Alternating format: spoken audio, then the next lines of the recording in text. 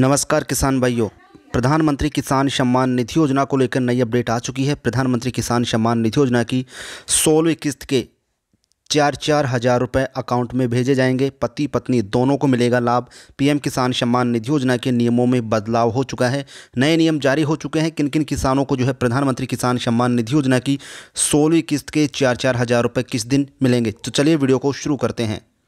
जी हाँ साथियों, देख सकते हैं, स्पष्ट रूप से यहाँ पे बड़ी अपडेट निकल के सामने आ रही है। नौ करोड़ किसान भाइयों की चमकेगी किस्मत, क्योंकि प्रधानमंत्री किसान सम्मान निधि योजना के तहत सोलहवीं किस्त के चार हज़ार रुपये पति और पत्नी दोनों के अकाउंट में जो है ट्रांसफ़र किए जाएँगे।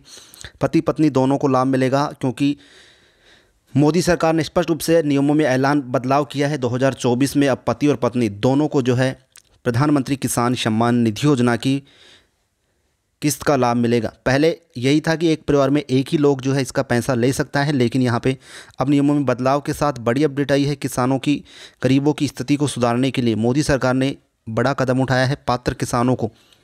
छः हज़ार रुपये जो सालाना राशि दी जाती थी, उसे बढ़ाकर अब बारह हज़ार रुपये कर दिया गया है। अब यहाँ दो दो हज़ार रुपये की किस्त के जगह किसानों को चार हज़ार रुपये की किस्त मिलेगी। सोलह किस्त को लेकर अपडेट आ रही है कि सोलह किस्त जो है ई के वाई सी को लेकर अंतिम तारीख जो है इकतीस दिसंबर जारी की गई है। इकतीस दिसंबर से पहले पहले किसानों को ई के करवानी होगी। ई के के बिना पेंशन नहीं मिलेगा। जैसे ई के सत्यापन प्रक्रिया कंप्लीट होती है, अब वो किसान भी रजिस्ट्रेशन कर पाएँगे जिनके पास ज़मीन नहीं है। लेकिन जो कृषि कार्य पर निर्भर रहते हैं। इसके अलावा पहले परिवार में एक ही सदस्य को लाभ मिलता था, यानी पति ले सकता है या फिर पत्नी।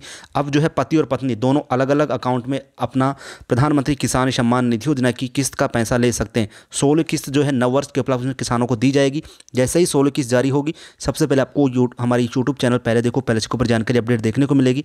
इसके लिए अगर आपने अभी तक चैनल को सब्सक्राइब नहीं किया तो चैनल को सब्सक्राइब कर लें। पास में बेल घंटे के निशान को दबा के नोटिफिकेशन ऑन करने के साथ ही जानकारी पसंद आए तो वीडियो को लाइक शेयर करना बिल्कुल ना भूलें। मिलेंगे साथ ही जल्दी नहीं अपडेट के साथ। तब तक के लिए धन्यवाद जय हिंद राम राम।